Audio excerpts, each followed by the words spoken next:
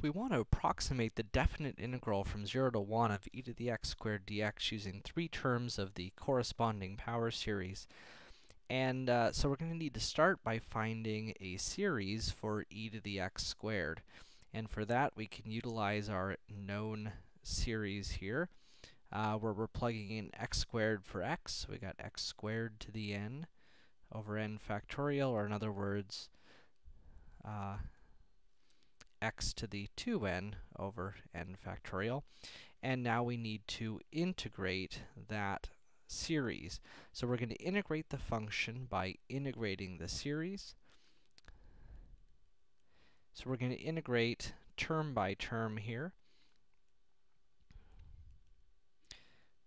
So the integral of an x to the 2n term is x to the 2n plus 1 over 2n plus 1, and the n factorial doesn't depend upon x, so it's acting as a constant and just comes along for the ride.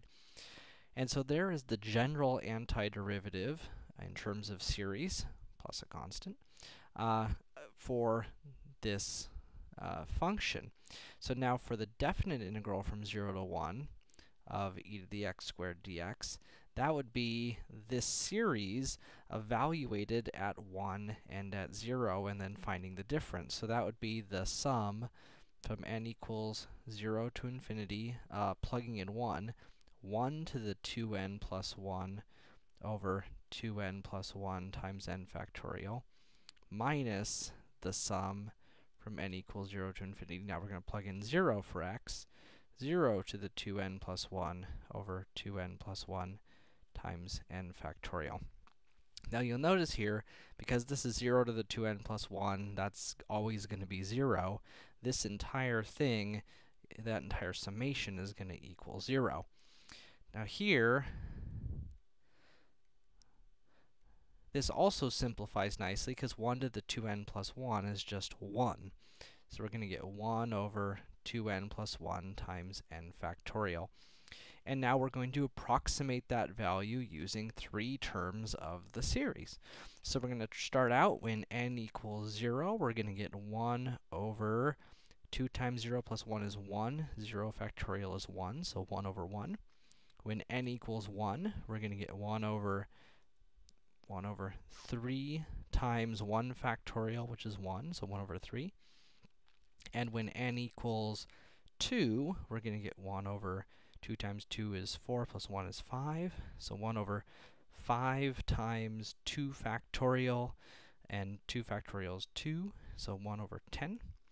And so there are three terms of my series.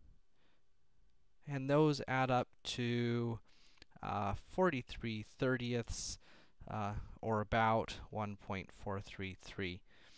Now, for comparison, a very accurate estimate for this integral would be about 1.46265. And so considering we're only using three terms here, we're getting pretty darn good accuracy.